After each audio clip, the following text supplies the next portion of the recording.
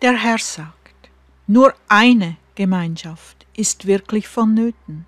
Liebst du mich, Geliebte? Die Trompete Gottes, Trumpet Call of God.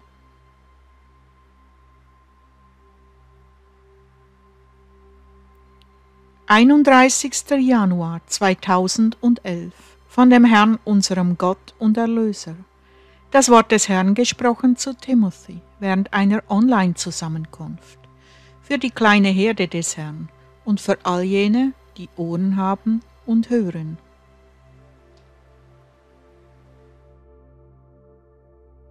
Da sagt Yahushua, Jahwe, ich habe getrauert, doch wer hat angeboten, meine Tränen abzuwischen? Ich wurde ausgegossen, verspottet, geschlagen, gegeißelt und durchbohrt. Doch wer ist gekommen, um meine Wunden zu küssen? Meine eigenen Leute haben mich abgelehnt. Und jene, die sich bei meinem Namen nennen, haben mich gehasst und weigern sich, in meinen Wegen zu wandeln. Noch wollen sie etwas von mir annehmen. Sie stoßen meine Hand immer weg zugunsten ihres eigenen Weges. Auch jetzt fahren sie mit der Verfolgung meines Leibes fort. Ihre Herzen sind von einem bitteren und tiefen Hass erfüllt gegenüber mir, meinen Dienern und dem Wort aus meinem Mund. Was kann hier getan werden, Geliebte? Was soll ich sagen? Welches Wort werden Sie hören, das nicht schon gegeben wurde?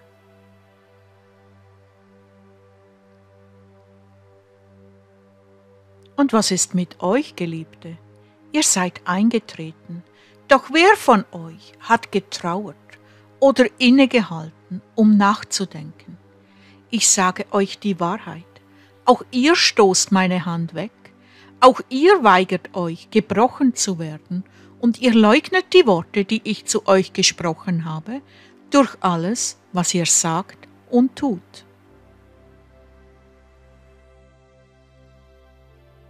Vortäuschung und Heuchelei gibt es im Überfluss, auch bei euch, meine kleine Herde, mit Frömmigkeit und Urteilen ohne wahres Wissen und einem Vertrauen, das leicht zu erschüttern ist. Denn jeder von euch schaut äußerlich und stützt sich auf den Glauben und das Wissen anderer.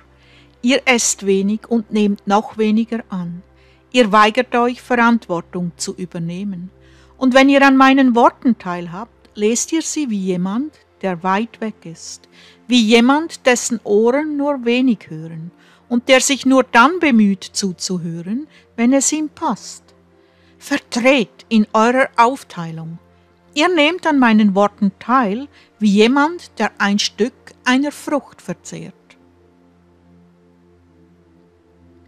Wie soll ich euch dann heilen? Wie werdet ihr dann die Haut dieser Welt abstreifen? Kleine Herde, wie kommt es, dass ihr euch über die Kirchen erhebt, obwohl eure Augen trübe und eure Ohren stumpf bleiben? Ihr seht und hört, aber nur teilweise. Oder habt ihr die Linie vergessen, durch welche diejenigen geprüft werden, die das Wort Gottes in ihrer Mitte haben? Habt ihr die Zeit der Prüfung vergessen, die kommen soll und jetzt hier ist? Kleine Herde, die Zeit für die Kirchen der Menschen ist vorbei. Werdet auch ihr im letzten Moment herbeieilen, nur um festzustellen, dass die Tür auch für euch verschlossen ist? Ich sage euch die Wahrheit. Keiner von euch glaubt wirklich. Eure Herzen weigern sich, die Gesamtheit meines Wortes zu akzeptieren, die absolute Wahrheit dessen, wer ich bin.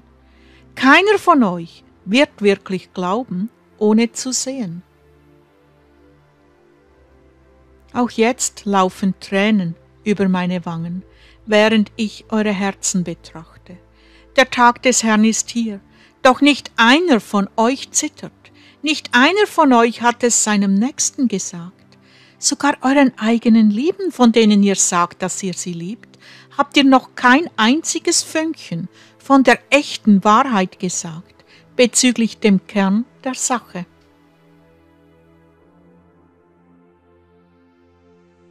Ihr sagt, seht uns an, wir haben gesehen und gehört. Seht, wir sind die wahre Kirche, der Leib des Herrn, eine Kirche ohne Wände. Doch ihr habt euch eingeschlossen und jede Mauer wieder aufgebaut, die ich niedergerissen hatte. Hartherzige Generation, wohlhabende Menschen, denen es an nichts fehlt. Ihr müsst noch eure rechte von eurer linken Hand unterscheiden lernen. Ich sage euch die Wahrheit, ich bin dabei, die Tür zu diesem Tisch zu schließen, und ihr werdet ganz allein gelassen. Was werdet ihr dann tun, meine kleine Herde?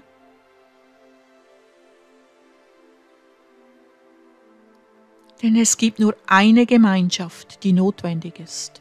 Doch wer von euch hat wirklich die Anstrengung unternommen, sie kennenzulernen? Deshalb bin ich dabei, diese Festessen zu beenden, denn ich bin die Wiederherstellung, der einzige Weg. Aus diesem Grund muss jede Kirche niedergerissen werden. Ich suche nicht nach einer bequemen Beziehung, noch nach einem Kuss auf die Wange, während ihr schnell an mir vorbeihuscht. Ich suche die Vereinigung. Ihr seid der Wunsch meines Herzens. Ihr wurdet für mich erschaffen zur Freude des Vaters. Deshalb frage ich euch noch einmal, Geliebte, liebt ihr mich wirklich? Bin ich der Wunsch eures Herzens, eure einzig verzehrende Leidenschaft? Wie es in der Weisheit 68 geschrieben steht. Echte Gemeinschaft entsteht nicht durch Worte, die in einer Gruppe von vereinten Menschen gesprochen werden. Vielmehr beginnt sie im Herzen und wird in der Stille meines Geistes gefunden, wo mein Friede die Gebrochenen heilt und meine sanfte Liebkosung das Herz erfreut.